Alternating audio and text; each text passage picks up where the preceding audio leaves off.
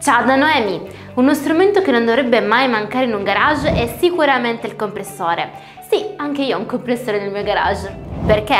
Beh, perché si tratta di un utensile davvero molto utile. Può essere utilizzato per moltissimi scopi diversi, come ad esempio per la verniciatura, la pulizia o il gonfiaggio delle gomme, ma anche per levigature e sabbiature anche se in quest'ultimo caso occorre un modello molto potente. Esistono diversi tipi di compressori. Numero 1. Il compressore portatile. Come suggerisce il nome si tratta della scelta migliore per chi necessita di mobilità e facilità d'uso. Questo tipo di compressore è consigliato per il soffiaggio, il gonfiaggio e l'utilizzo di attrezzi pneumatici, possedendo pressioni fino ad 8 bar a portata dell'aria fino a 8 m3 l'ora. Numero 2. Il compressore monocilindrico. Si tratta della tipologia più diffusa e comprende tutti i compressori a pistone singolo, dotati di un unico cilindro azionato dal motore. Sono consigliati per lavori nel lungo periodo con attrezzi pneumatici. La pressione arriva nuovamente fino a 8 bar, ma la portata aumenta fino a 40 m3 l'ora. Numero 3.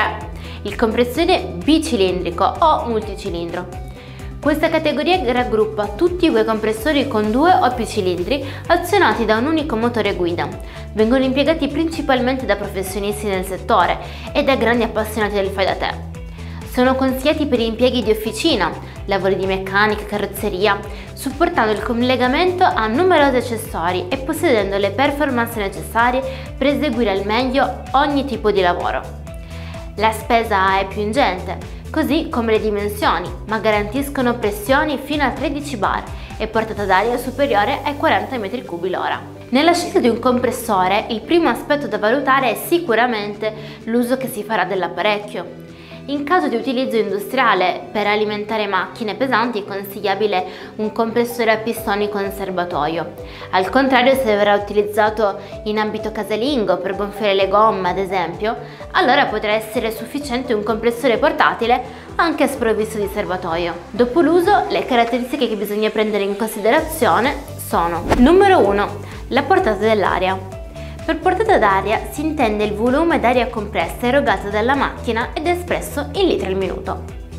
Per gonfiaggio, verniciature e scalpellature sarà sufficiente un flusso d'aria compreso tra i 150 e i 200 litri al minuto, valore che deve superare i 200 litri al minuto qualora lo strumento venisse utilizzato per lavori di sabbiatura o per più pesanti mansioni industriali. Numero 2. La capacità del serbatoio. Le dimensioni del serbatoio sono importanti perché influiscono anche sulla pressione generata.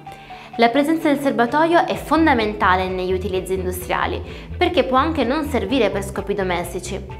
Per l'utilizzo occasionale è sufficiente un serbatoio inferiore a 100 litri, mentre per un utilizzo quotidiano è preferibile una capacità oltre 100 litri. Numero 3. La potenza. Esistono compressori con potenze molto alte, ma sono riservati all'alimentazione di macchine industriali. La potenza dipenderà inoltre dall'alimentazione. Un motore elettrico sicuramente più ecocompatibile e comodo per i piccoli utilizzi, non sarà adatto per tutte quelle mansioni più impegnative, per le quali autonomia, continuità ed efficienza sono richieste. Numero 4. Le dimensioni. Quest'ultime sono da tenere in considerazione soprattutto quando si prevede di utilizzare il compressore in spazi stretti e con poca libertà di movimento. In tal caso sono consigliati compressori portatili, piccoli e manovrabili, mentre apparecchi più ingombranti e potenti saranno adatti a spazi più ampi e funzioni più professionali. Numero 5. La fonte di alimentazione. Se si avrà a disposizione una presa di corrente si potrà scegliere un compressore con alimentazione elettrica, mentre se al contrario si prevede di utilizzarlo in posti dove non c'è rete elettrica, dovrà scegliere il motore a scoppio. Bene, questi sono i nostri consigli su come scegliere un compressore. Potete acquistare il vostro prossimo compressore su bpmpower.com.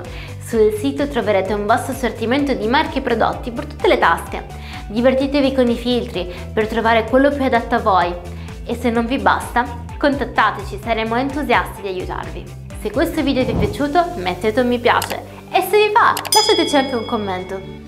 Vi invito anche a iscrivervi al nostro canale YouTube ed attivare la campanellina. Ciao, alla prossima!